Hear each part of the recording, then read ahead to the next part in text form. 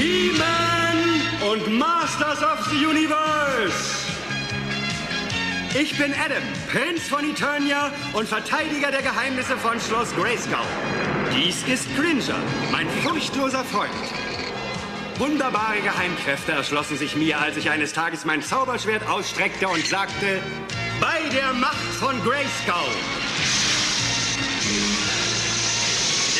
Ich habe die Kraft.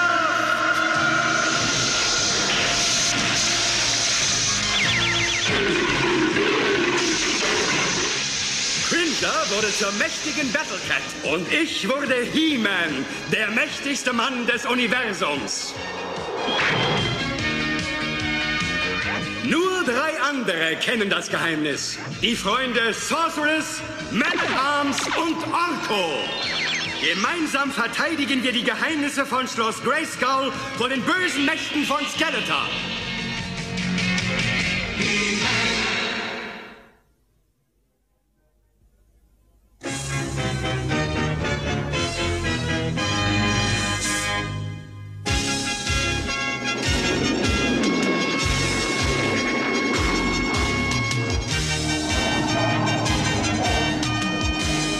Sollten zum Frühstück im Palast zurück sein, Adam. Ist auch gut so. Ich bin so hungrig, dass mein Magen knurrt. So sehr knurrt er nun auch nicht. Der Windreiter verliert an Kraft. Haben wir keinen Treibstoff mehr? Doch, wir haben noch genug. Wir verlieren einfach Kraft. Und die Turbinen sind ausgefallen. Wir stürzen! Ich kümmere mich lieber als He-Man darum. Bei der Macht von Grayskull!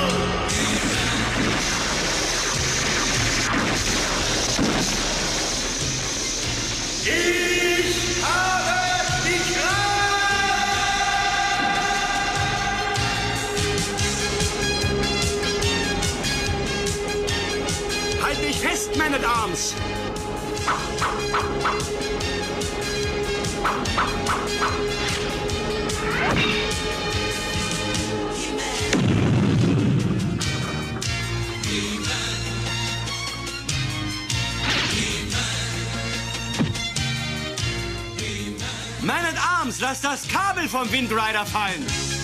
Ja, so geht es. Der Windrider fühlt sich an, als ob er eine Tonne wiegen würde. Ha, andererseits, er wiegt ja wirklich eine Tonne. Gut gehandelt, He-Man. Den Ankerhaken zu benutzen, um unseren Fall zu verlangsamen. Bist du in Ordnung? Vielleicht bin ich außer Übung. Es hat meine ganze Kraft gekostet, den Windrider aufzufangen. Mit deiner Kraft war es doch sicher leicht. Ich weiß, es ist nicht zu begreifen und auch nicht der Ausfall der Windrider-Turbinen. Was hat das wohl verursacht? Am besten, wir nehmen ihn zum Palast zurück und nehmen ihn dort auseinander.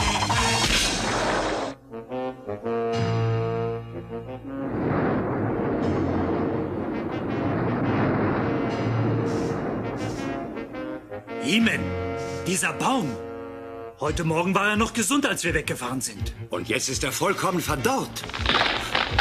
Er fällt ja direkt aufs Rathaus. Und in dem Gebäude sind viele Menschen.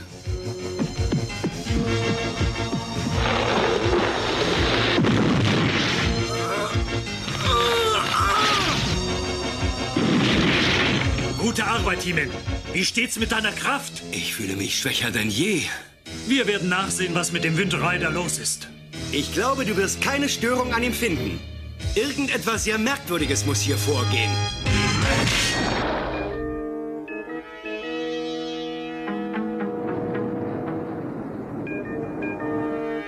Puh, das Ding wird immer schwerer. Vielleicht sollte ich wieder Prinz Adam werden. Nein, nein. Wenn hier wirklich etwas verkehrt läuft, könnten wir deine Kräfte sicher gebrauchen. Hey!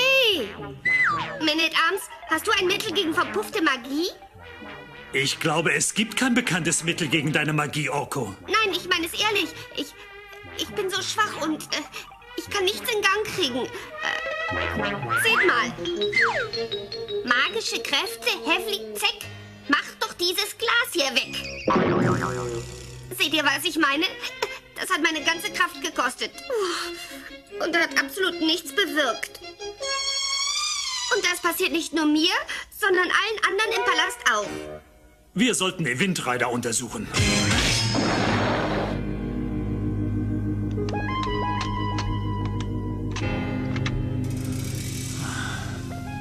Hast du etwas gefunden?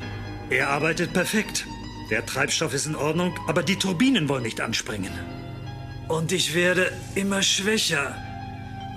Oh alle werden immer schwächer. Bäume verdorren, Turbinen laufen nicht. Das begreife ich nicht. Welches Element fehlt uns denn? Ich hab's.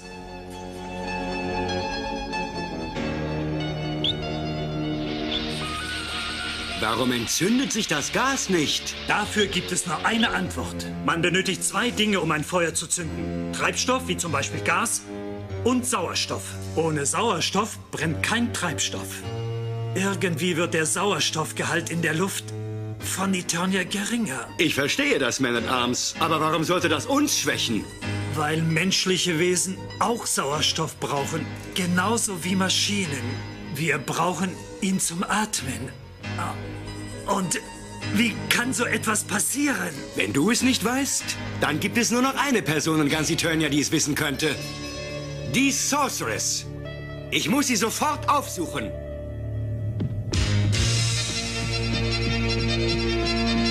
Schade, dass ich kein Fahrzeug nehmen konnte. Leider ist keines fahrbereit. Ah, und ich bin beinahe zu schwach, um zu laufen. Alle Bäume im Evergreen-Wald scheinen zu verdorren. Ich beeil mich lieber. Diese Anstrengung macht mich mit jedem Schritt schwächer. Aber ich muss es bis Grayskull schaffen. Ich muss nach Grayskull. Grayskull, aber... wa- Was zum Teufel? Die Maulbrücke. Weit offen. Das Schloss ungeschützt. He-Man, ich hätte schon nach dir geschickt, aber ich konnte nicht. Meine Kräfte wurden jede Minute schwächer. Man at Arms sagt, der Sauerstoffgehalt in Eternias Luft verringert sich. Das ist es, was uns alle schwächt. Weißt du, wodurch das verursacht wird? Vielleicht. Hast du irgendetwas Seltsames auf dem Weg hierher bemerkt? Ja, der Evergreen-Wald verdorrt. Dann habe ich vielleicht die Antwort. Tief im Herzen der mystischen Berge liegt der See der Ewigkeit. Er füllt einen Fluss, der den Kletterpflanzendschungel und den Evergreen-Wald versorgt mit Wasser. Diese beiden großen Kräfte ihrerseits versorgen Eternias Luft mit Sauerstoff. Wart mal, wie können Pflanzen Sauerstoff erzeugen? Wie du weißt, atmen alle Tiere Sauerstoff ein und Kohlendioxid aus. Ja, Nun, alle Pflanzen nehmen Kohlendioxid auf und geben Sauerstoff ab. Darum brauchen Pflanzen und Tiere einander, um zu überleben. Irgendjemand muss die Wasserversorgung für den Wald an der Quelle am See der Ewigkeit abgeschnitten haben. Du musst dahin und die Dinge wieder ins Lot bringen. Der ganze Planet ist in höchster Gefahr. das ist das, was sie mir erzählt hat. Ich bin sicher, sie hat recht. Aber wie komme ich zum See der Ewigkeit? Ich musste ja beinahe zum Palast von Schloss Grayskull kriechen. Ich habe da eine Idee. Hier, atme das ein. Ich fühle mich besser. Meine Kräfte kommen zurück. Man at Arms, was ist das? Ein neues Unterwasseratmungsgerät, an dem ich arbeite. Das einzige, was ich gemacht habe. Davon musst du mehr machen und sie den anderen Menschen geben. Wie denn? Wir haben nicht genug Sauerstoff dafür. Du bist unsere einzige Hoffnung. Nimm den Sauerstoff und geh in die mystischen Berge. Irgendjemand muss die Wasserversorgung des Waldes abgeschnitten haben. Und ich wette, derjenige ist Skeletor. Da der Rest von uns geschwächt ist, könnte er den ganzen Planeten ohne Widerstand übernehmen. Aber hiermit hat er nicht gerechnet. Eine Warnung, He-Man. Bewache diesen Kanister vor allem anderen. Ohne ihn wirst du Skeletor gegenüber machtlos sein. Sei sparsam damit, als wäre es Wasser in der Wüste. Wenn der Sauerstoff in dem Kanister verbraucht ist, gibt es keinen Nachschub. Ich verstehe. Geh jetzt, ganz Eternia rechnet mit dir.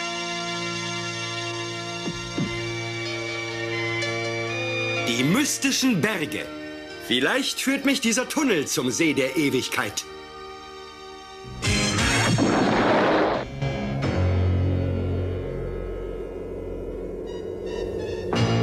Hoho. Na, welchen Weg soll ich nehmen? Ich habe das dumpfe Gefühl, dass ich mich verlaufen habe. Ein Eindringling. Weiß nicht, was du hier willst, aber weiter als bis hierher gehst du nicht.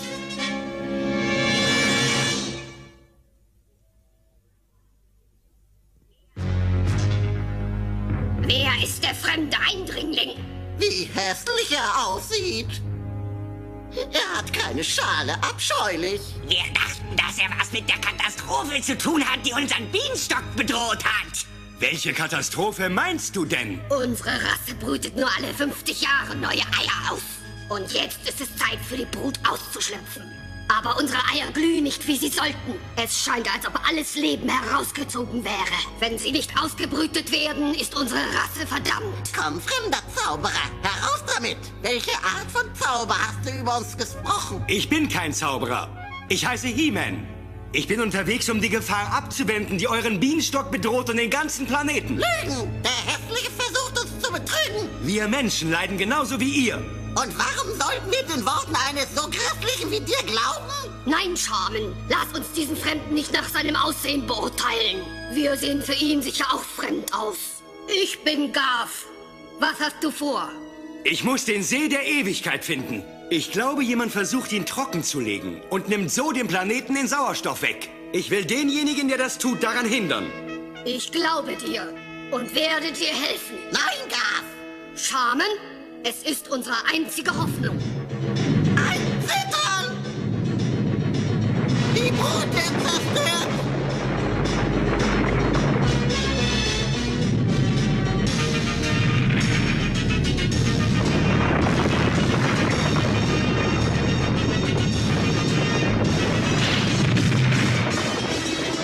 Müsste die Decke für den Augenblick stützen. Du hast unseren Bienenstock gerettet!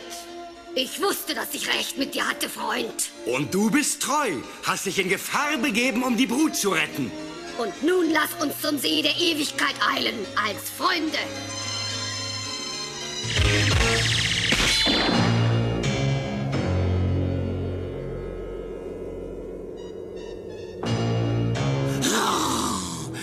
Für einen Sinn hat es überhaupt für uns Wache zu stehen für Skeletor? Jetzt müssen alle auf dem Planeten zu schwach sein, um sich zu bewegen. Gute Sache, dass wir diesen Kanister mit Sauerstoff haben, der uns Kraft gibt. Ja, die Luft hier ist so dünn, dass keiner an uns vorbeikommen könnte. Wir brauchen diese Lähmungsstrahlen kaum noch. Wo wir gerade davon reden, ich habe das Gefühl, ich könnte etwas Sauerstoff vertragen. Warte mal. Ich dachte, ich hätte was gesehen.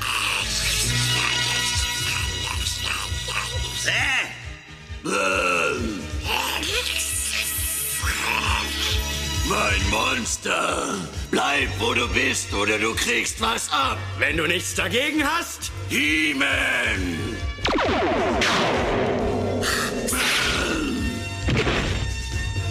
Oh nein! Meine Kraft ja, ist weg.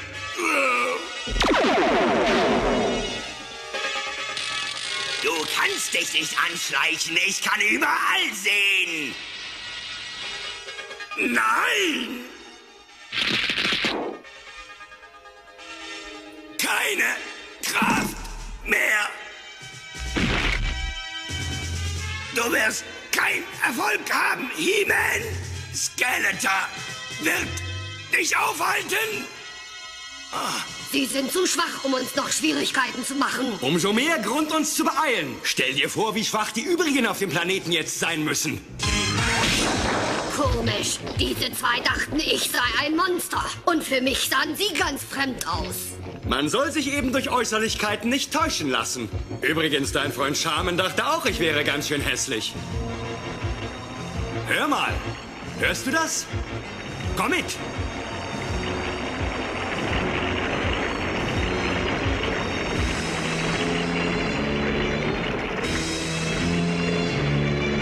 Wasser vom See der Ewigkeit wird in diese Grube gepumpt. Wir müssen uns beeilen.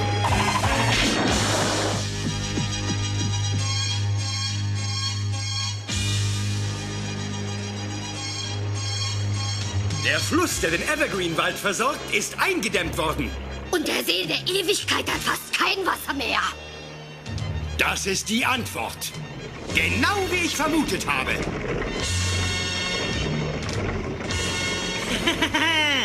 Bald wird der See der Ewigkeit vollkommen leer gelaufen sein. Dann ist die Sauerstoffversorgung von Eternia abgeschnitten. Skeletor. Er ist derjenige, der die Eier meines Volkes in Gefahr gebracht hat. Ja, und den Rest des Planeten ebenso. Wir müssen aufpassen, er ist hinterlistig und sehr gefährlich. Ich habe keine Angst, lass uns gehen und ihn aufhalten. Nichts steht meiner Herrschaft über Eternia im Wege. Und endlich auch über Schloss Grayskull. Wieder falsch, Skeletor. Hä? He-Man! So, ihr seid an meinen Henkern vorbeigekommen. Macht nichts. In wenigen Minuten werden meine Maschinen den See der Ewigkeit völlig leer gepumpt haben. Dann wird mich nichts mehr aufhalten. Das denkst du. Ist das der einzige Verbündete, mit dem du gegen mich kämpfen willst? Ein hässliches Insekt. Kriechender, hässlicher Käfer. Er sieht vielleicht hässlich aus, aber er hat mehr Herz, Mut und Schönheit in sich, als du jemals hoffen könntest zu besitzen, Skeletor. Ah, genug davon. Du musst deine Kraft auf dieselbe Weise erhalten wie ich.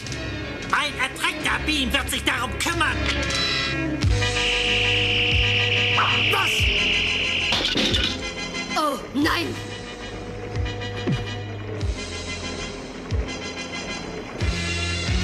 Ruhig, He-Man.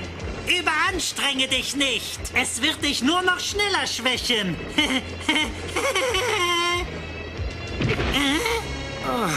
Ich bin schwach. so ist's recht, He-Man.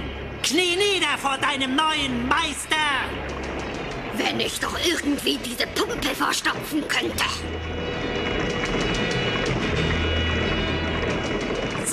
He-Man. Krieche zu mir. Ja, das ist alles, was du von jetzt an tun wirst. Du, Insekt, was machst du da?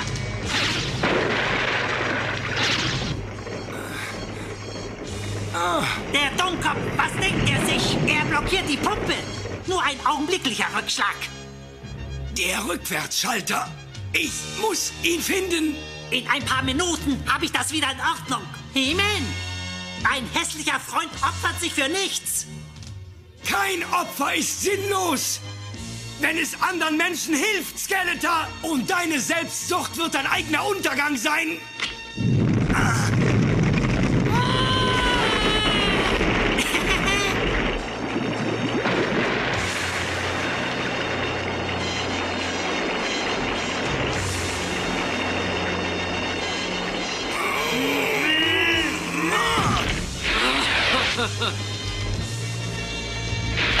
Nein!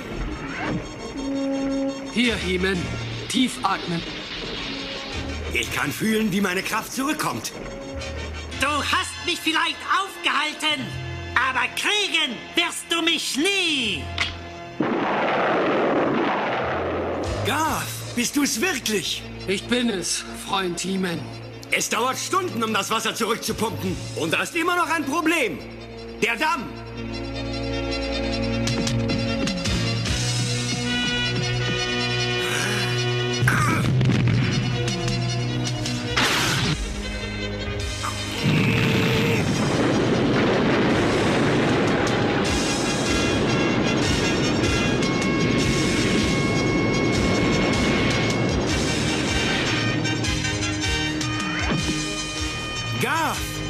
Ich danke dir, mein Freund.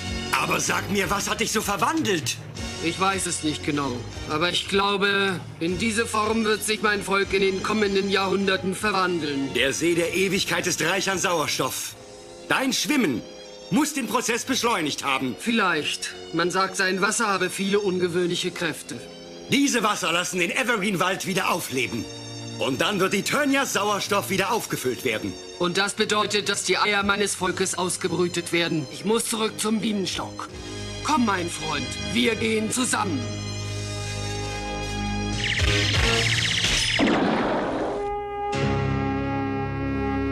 Und das Insektenvolk hat versprochen, den See der Ewigkeit von jetzt an zu beschützen. Dann wird das, was heute passierte, nie wieder geschehen. Hallo, ihr Leute. Ich habe meine Magie wieder. Ich bin sicher, dass du sie wieder hast, Orko. Alles ist wieder normal.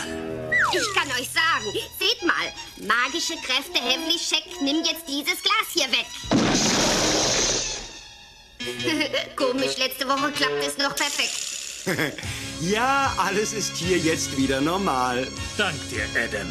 Dank mir nicht. Dank Garth, meinem noblen Freund.